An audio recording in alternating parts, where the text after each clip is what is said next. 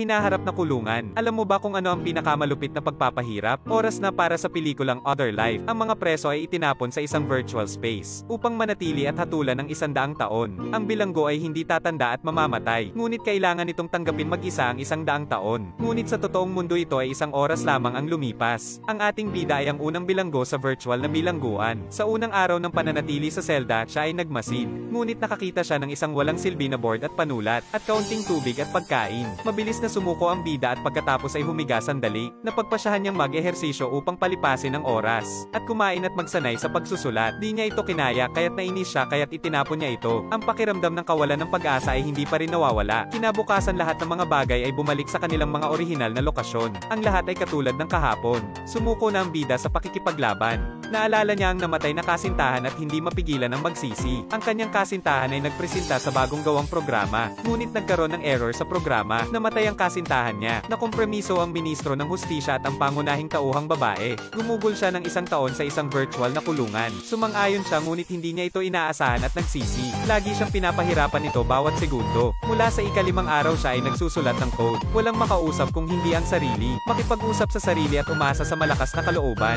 Sa wakas ang magiting na babae ay tumagal ng 365 na araw. Ito ang araw na siya ay lalaya na. Hindi nagtagal, umilo ng pulang ilaw at ito ay hudyat ng system. Lalabas na siya ngunit sa sandaling iyon, bumalik ito sa unang araw. Ganap na gumuho ang magiting na babae. Matapos maglabas ng galit, ang bida ay pagod na nakahiga sa sahig. Ngayon ay naramdaman niya ang isang bugso ng hangin. Natuklasan ng babae ang kamalian ng programa, matagumpay siya na nakatakas. Sa labas ay isang inabando ng bodega. Tumakbo siya sa isang silid at nakita sa loob ang lahat ng pagkain. Pagkatapos nito, nagpunta siya sa ibang silid. Ang kamera dito ay pinapanood ang bawat galaw niya. Sa wakas ay may kamalayan ang bida. Hindi ito virtual space ngunit ito ay totoong mundo. Natuklasan siya ng gwardya kaya't kinuha niya ang susi ng kotse sa lamesa upang magmaneho at upang makatakas. Pumunta siya sa kanyang kumpanya ngunit nalaman na ang lugar ay walang laman. Bumalik sa kanyang apartment, ang silid ay nirerentahan ng iba. Pumunta siya sa istasyon ng pulisya upang magulat. Ipinapakita ang file at sinasabi na siya ay paralisado. Nakiusap siya sa pulisya na puntahan ang lugar sa eksena, ngunit wala na ang lahat kung saan siya dating nakakulong.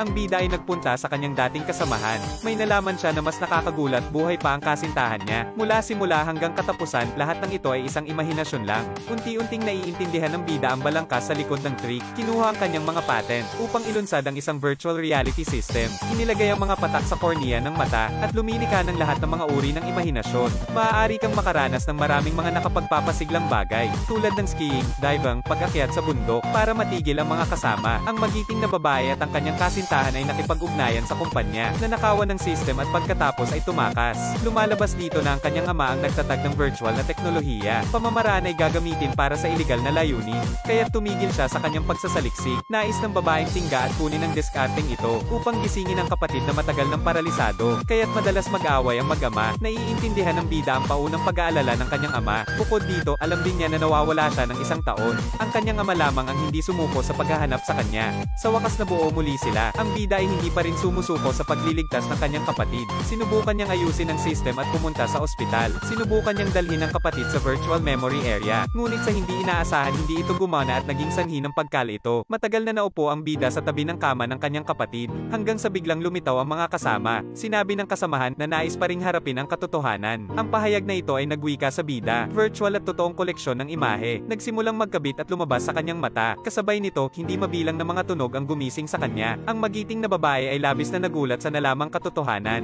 Nasa virtual space pa rin siya. Matapos makulong sa virtual space at makatakas mula sa kulungan, namatay ang kanyang nakababatang kapatid. Sa wakas nagising ang bida sa kasalukuyang mundo. Labis na nagulat ang bida. Binigyan niya ng suntok ang kanyang kapareha at ibinaksak ang computer. Sa loob ng mahabang panahon, unti-unting huminahon ang bida. Lahat ng pinagdadaanan niya sa virtual space ay lahat ay naging parang tunay. Kaya't nagsimula siyang maguluhan kung ano ang realidad at ano ang ilusyon. Ngayon naramdaman niya ang kilabot ng virtual space engineering. Kaya't sinabi ng babae sa kanyang kapareha, nais niyang ihinto ang pagsasaliksik. Tanong niya sa kanya, ano ang nararanasan niya sa virtual na mundo pagkatapos ng lahat. Hindi sumagot ang bida, ngunit hindi pa rin sumuko ang kapareha. Sa araw na iyon ay hinanap niya ulit ang bida. Lumabas na siya ay sa pamamagitan ng electroencephalic wave research. Ang pagtuklas ng katotohanan ng bida na nakatakas mula sa virtual space. Tuwang-tuwa ang kasamahan dahil ito ay naging matagumpay. Nakiusap siya sa bida na pumasok ulit sa virtual na kulungan upang makuha ang pangunahing data. Ngunit ayaw niyang ulitin ang ng bangungot na iyon. Hindi siya pinayuhan ng kanyang kapareha. Lumitaw ang mali siya niya. Patagong kinuha niya ang reagent at inilagay niya ito sa kanyang mata. Ang kamalayan ng bida ay muling pumasok sa virtual na bilangguan.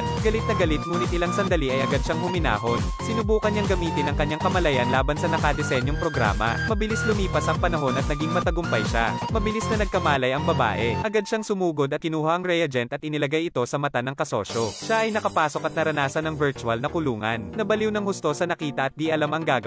Hindi tumitigil ang bida. Hinayaan ang patuloy na pakiramdam ng kapareha sa loob ng programa. Naulit ang pag-ikot ng kawalan ng pag-asa. Ngayon ay binuhay niya siya sa pagkakabilanggo. Pagkatapos ng personal na karanasan sa virtual na bilangguan, naunawaan din niya na nakakatakot ang virtual space. Ang babae at ang kanyang ama ay nagpunta sa ospital upang magpaalam sa kanyang kapatid na matagal ng patay. Ngayon ang mga diskarte sa VR ay lalong may kasanayan. Sa hinaharap at sa lalong madaling panahon, magkakatotoo ang mga detalye sa pelikula. Ngunit magkano kung ang teknolohiya ay nagbago, may mga totoong bagay na hindi maaaring kopyahin magpakailanman. Bukod dito, minsan lang, buhay yan.